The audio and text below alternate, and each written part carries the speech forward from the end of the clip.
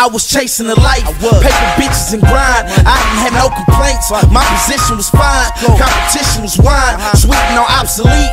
Pistols popping for blocks cause niggas adopt the streets. My cousins copping keys. I'm having problems copping beats. But dropping heat while they get in the kitchen chopping D.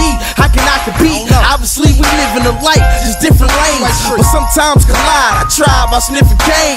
Popping X. Selling rocks, copping texts. Chopping sets. Using all the power I possess.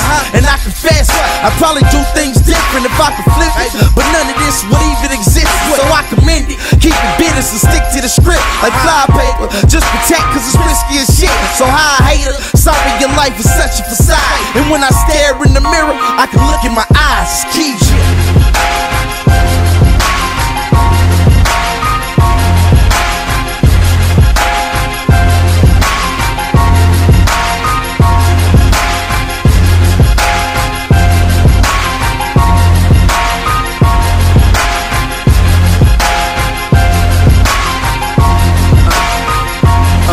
This lifestyle that I'm living, the price when I'm spinning.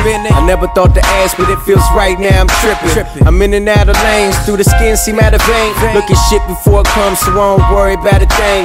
In a hurry for a change, or should I hurry to the change? If you feel me, then I hope the sober jury see the same. I've been praying for a waiting up. Hoping for a future fully automatic chop suey. Told him to be neutral. I'm focused, but it's crucial. Any day can put to sleep.